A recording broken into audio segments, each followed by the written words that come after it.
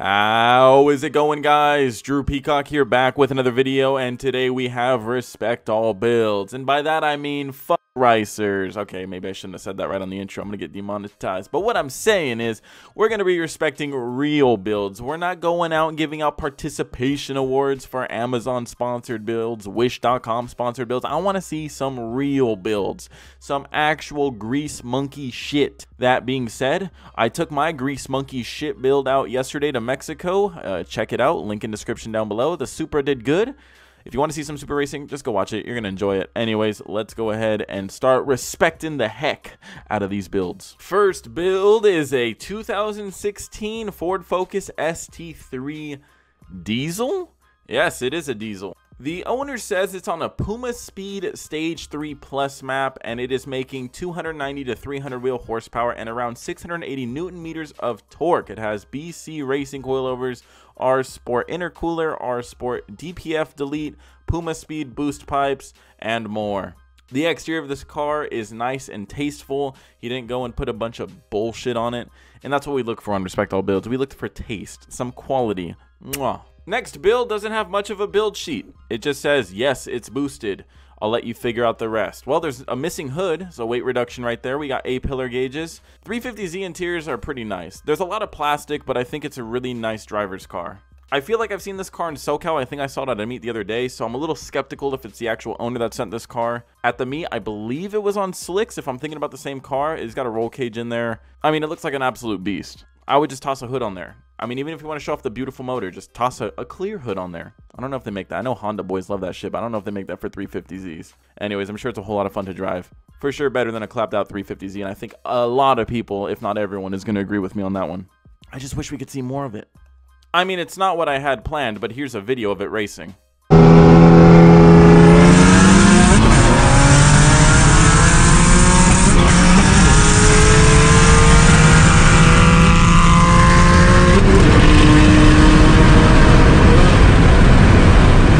It's potato quality, but that bitch was moving. Uh, it looked like he was racing a BMW of some sort. Like I said, potato quality. Just uh, don't street race, you know? Save it for Mexico. You guys know me, I'm not a huge fan of these Golfs, but this one is full bolt-on multi-port injection IS20 GTI turbo based hybrid turbo. E85 and it's making 530 wheel horsepower and 450 wheel torque. I might not like how the car looks. It might look a little basic in my book, but I mean, I'm a man of horsepower. I'm a fan of horsepower. I beat off to horsepower. 530 horsepower on a little egg? Hmm. Sign me up. To me, it just looks like, I don't know, it just looks like a soccer mom car, kind of. Just like a smaller soccer mom car. I get it's a hatchback and everything, but it just, it doesn't, uh, I don't know. To me, Hey, hey, hey, with respect all builds, not rice or nice. What are you doing here? Do not use respect all builds in your subject bar if it ain't a build. Wheels and a front splitter and some headlights, that ain't a build. I'm sorry, Chief. Save it for rice or nice. Moving on. This is what I'm talking about. A 1999 Mustang GT Coyote swap. He says, did all the work himself. Quite the flex there, bucko. Made 424 horsepower on a little new Edge Mustang GT. Dude, those cars are small, they're light. I mean, as you can see what Project WAP can do at 360 horsepower, imagine this bitch right here. It is a drop top, though, which is a little bit of a downside, but he's got that cool fucking anti-roll bar right there. That is dope as fuck. And he's got the racing seats and the harnesses. Damn. I'm low-key jealous. Like, you want to trade for Project WAP? Let me know. Another new Edge Mustang. Look at that. A 2002 Mustang GT supercharged. We got an SVT Eaton blower on top. Makes 10 and a half pounds of boost. If I saw that little bumblebee bitch rolling down the street, I would not think 10 and a half pounds of boost is being pumped through that new Edge motor right there. 411 rear wheel horsepower, 400 something torque. Rear wheels are 18 by 10 Forgestar D5 drag wheels. He's got a 295 35 18 Michelin Pilot Super Sports on a Borla exhaust. It's a little bit of a sleeper there. I'm not gonna lie. Like like like I said before, if I saw this little bumblebee bullshit going on the street, would not think supercharged. This is what I'm talking about right here. Look at all this breakdown. I love this type of shit. 2019 Hyundai Veloster. If that is a factory color, wow, Hyundai is, is killing it. Is, is it white? Is it white or gray? It's white. Okay, wait, is it white? I can't even fucking tell. Is it like a white or like a chalk gray? I don't know. I'm pretty hard over it. Anyways, car apparently from factory makes 180 wheel horsepower. It's currently making 250 wheel horsepower. So that's quite the jump up from stock Hyundai bullshit. Some of his performance mods include an Lap 3 Pro Tuner 93 octane. He's got an AM intake, Velossa Tech Ram intake snorkel, HKS blow-off valve, 60 millimeter throttle body, lowering springs, and more. Aesthetic, he's got a carbon fiber wing, carbon fiber headlight eyelids, carbon fiber front bumper inserts, carbon fiber rear bumper inserts, carbon fiber mirrors, a whole bunch of carbon fiber. Everything aesthetically he did is carbon fiber, okay? If it ain't carbon fiber, this dude ain't buying it. I think these new Hyundais are, are kind of a step in the right direction. The old Hyundais are a little bit too round. This looks a lot more sporty, and I could see some kids, and I mean, shit, even myself, I could see myself driving this car. Next car is a 1995 BMW M3 5-speed. It's on Bilstein shocks and H&R springs, H&R front sway bar. It's on a fully rebuilt front suspension, Z3 steering rack, Euro-style glass headlights along with amber deletes, Apex Arc 8 wheels. I was actually looking at the Apex wheels for my Mustang a long time ago. Decent wheels, I'm not gonna lie. Mishimoto radiator and new cooling system. His brother's got an Evo 10. That's why we're looking at one right here. Sorry, I'm a little bit stupid. It's a 5-speed as well, HKS coilovers, Tomei TI exhaust, Voltex wing, full carbon fiber aero kit with fog light deletes, Brom bucket seats, and of course, you gotta have Enkei RPF1 wheels, because why the fuck not on an Evo? It's like the go-to wheel. I think you get them for free pretty much. If you if you buy an Evo, I think Enkei gives you free RPF ones. I think that, that's what I heard. It's obviously a joke. I already know there's gonna be some 12-year-old saying that's a lie. We all love sleepers, right? Well, let's take a look at this 2000 Sleeper Eclipse. It's swapped with a 6G74 3.5 from a VRX, aka a Mitsubishi Magna. Subaru STI injectors, pink 380 Kemso fuel pump, universal medium size intercooler. Turbo is a GT35 Evo 8 MAF translator used in a 3 inch GM MAF. Wow, this is like a fucking freak of nature right here. Finishing final tune adjustments. It's making 400 plus wheel horsepower on 14 pounds of boost. Not the prettiest, but I'm not trying to win a beauty contest. Well, you got that right, but it's definitely way prettier than the one in Too Fast, Too Furious, and probably way fucking faster.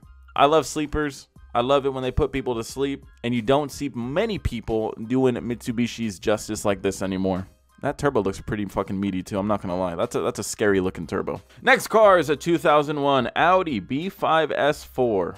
Owner is 17 years old, fully paid by him, not sponsored by mommy and daddy. Twin Borg Warners, KO4 turbos, IE connecting rods, 2.8 cams. Front mount intercooler, as you can see from this photo right here, that thing is freaky looking. It looks like a spider is just wrapped around your fucking face. His face fucking you. 660cc injectors, Bosch 044 fuel pump, 84 millimeter MAF housing, unknown charge pipes, unknown catless downpipes, TR Motorsports FF10 wheels, wrapped in Continental Extreme contacts, unknown coilovers, and an FX400 clutch. You can't fricking tell me if you saw this Audi getting groceries, you wouldn't think anything of it.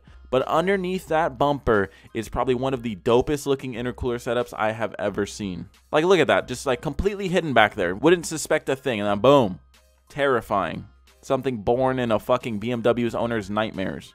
Hope you guys love German cars because it seems like this episode is all German cars for the most part.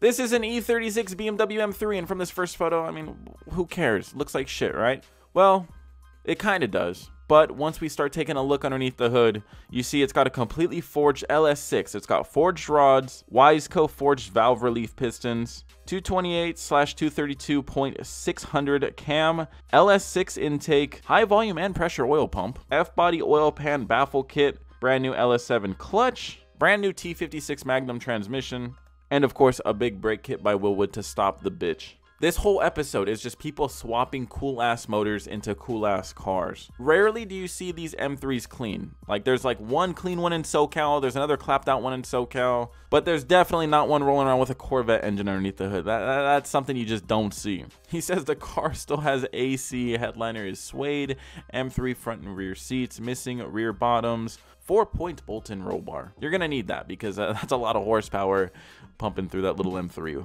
Dope ass build. God damn, more fucking BMWs. A 2017 BMW 340i. It's got a B58 engine, single turbo inline 6.3 liter. Sounds a lot like a goddamn Supra. Oh, wait. Anyways, this one is full bolt-on stage tune on 93 octane, making about 420 wheel horsepower. He's saying if his gauges can be trusted, it's probably closer to 470 wheel horsepower. He's saying the one with the carbon fiber front lip is the latest photo of it, but all the other ones are from this year. That front lip looks expensive. Please go slow over dips. Okay, I destroyed my Supra one first day. Tragic. still on the car. I just gotta go get it repaired. I'm just too lazy to do it. I like all the heat deflection shit. I know some of it is OEM, but like the gold tape and everything cool, like that's pretty fucking smart. another freaking German car. I'm just going in order. Like, I'm not trying to do all German cars, but we got another Audi right here. This is a 1995 Audi S6 Quattro. Stage 3 tuning, bigger than stock Borg Warner EFR 6758 turbo at 27 PSI. So it's got a 3-inch downpipe, adjustable 2B camber coilovers, Porsche calipers, forged internals, making around 420 and 425 horsepower. Tried keeping it looking as stock as possible, pretty fast for almost 5,000 pounds. That bitch is fucking heavy. I mean, it do look mostly bone stock. The wheels aren't my personal favorite. They look like something you'd see on a Camry, but uh, it's pretty much it's a pretty good looking car. Kind of looks like a Camry or like an old Corolla if you think about it. Like think of a 95 Corolla. Kind of looks like that. All right, we'll do like one or two more. We got a 2006 Mitsubishi Lancer Evo. He's got a Motec M800, a Borg Warner EFR 7163, ID 1000 injectors. Crankshaft is a Kelford 272 272 manifold full race, intercoolers from ETS, titanium exhaust. His brake system is Girodisc, 5-speed RS gearbox, Cusco stabilization bars. It's got a DC downpipe, custom turbo entrance, and Eibach springs, making 490 horsepower. I am loving your guys' builds this episode. Just keep it coming. Keep it coming.